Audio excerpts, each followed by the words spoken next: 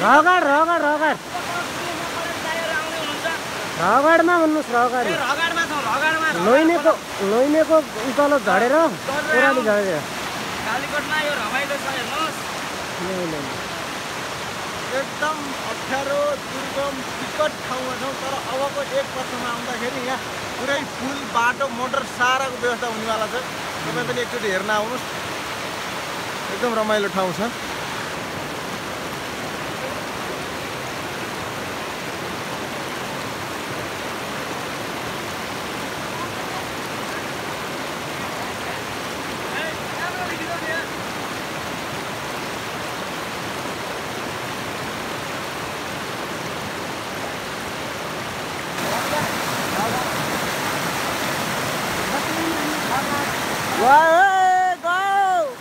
अलि माथि आलु माथि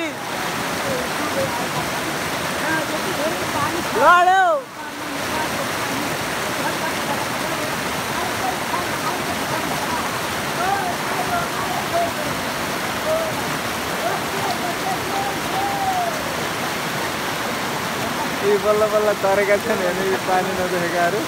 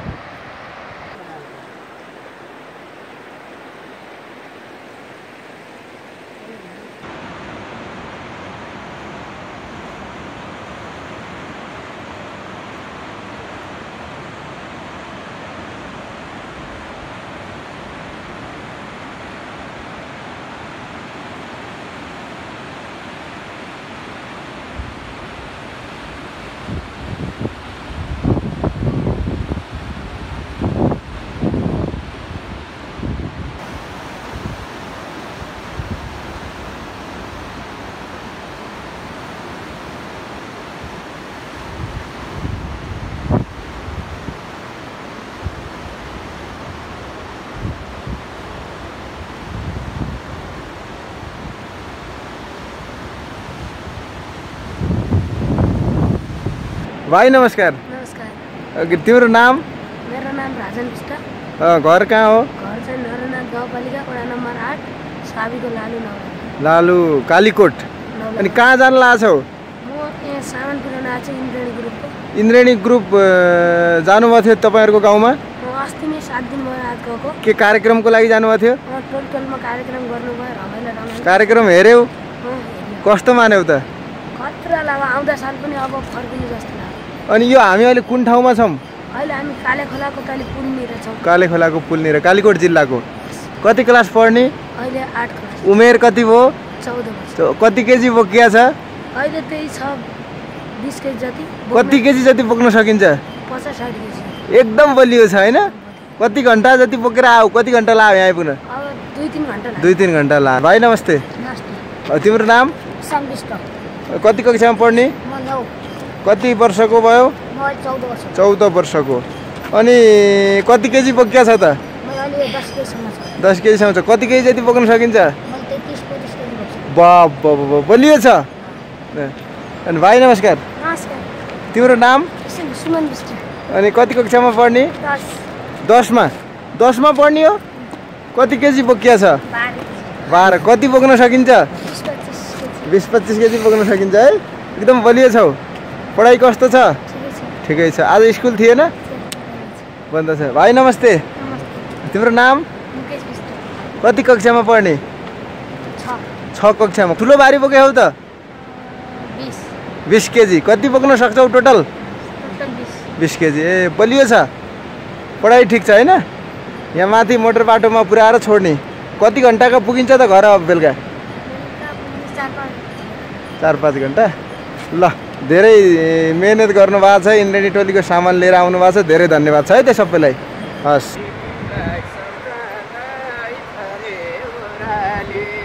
बा नमस्कार।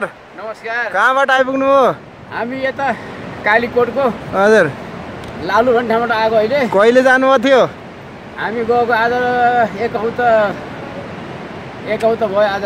कृष्णबहादुर गन्धर्व भन्ने हजुर होइन र? खै मै हो जस्तो लाग्छ। पोखराको मान्छे कालीकोटमा आउनुभयो कस्तो मान्नुभयो डाँडा काँडा डाँडा काँडा अब यस्तै हो गाउँघरमा डाँडा काँडा उकालो ओह्रालो अलिकति। गाह्रो। राम्रो छ लामो। उकालो। गाह्रो भयो। गाह्रो भयो। गाह्रो भयो। ल हेर्नु छत्र साई पनि आउनु भएको छ। उहाँलाई पनि नमस्कार गर्नु होला। गाह्रो छैन। ल हेर्नु देवी आलेख यहाँदेखि लिएर सम्पूर्ण आउनु भएको छ। यसरी हार्मोनियम बोकेर आउनु भएको छ। दाजु नमस्ते। नमस्ते। तपाईँको नाम के हो? नाम ललिजन विष्ट। कहाँदेखि आउनुभयो? नरनाथ गाउँपालिका वार्ड नम्बर आठबाट हजुर। इन्डियन टिमलाई पुर्याउन आएको यहाँ। इन्डियन टिमलाई पुर्याउन। इन्डियन टिम जानुभएको थियो? कति दिन घुम्नुभयो त्यता सात दिन कार्यक्रमहरू गर्नुभयो? सब गर्नुभयो। कस्तो मान्नुभयो त कार्यक्रम? कस्तो गर्नुभयो? कार्यक्रम धेरै रमाइलो लाग्यो। हाम्रो सबै कस्तो छ? तपाईँहरूको कार्यक्रम देख्दाखेरि धेरै राम्रो राम्रो। अनि कस्तो प्रतिक्रिया छ गाउँघरमा?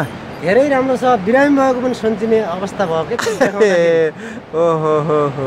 अनि हार्मोनियम बोकेर आउनु भएको रहेछ? हार्मोनियम अब उहाँहरूको पुरै दिनु पर्यो यता गाडीहरू मोटरहरू केही चल्दैन?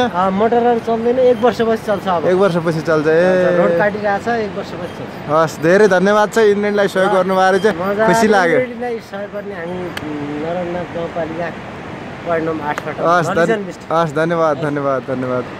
एक हप्ताको यात्रा सकेर दर्शकबिन हामी विक्रम सम्बत दुई हजार छयत्तर साल वैशाख महिनाको चौबिस गते फर्किँदैछौँ र अब यो कर्णाली नदीमा आइपुगेका छौँ यहाँबाट गाडी चढ्न पाइन्छ यहाँ माथि हाम्रो जीवन टन्डनले गाडी ल्याएर कुरिरहनु भएको छ र अब हामी दस पन्ध्र मिनटको उकालोपछि हाम्रो आफ्नो गाडीसम्म पुग्नेछौँ र सम्पूर्णलाई धन्यवाद दिँदै बिदा हुन्छु हस्त धन्यवाद नमस्कार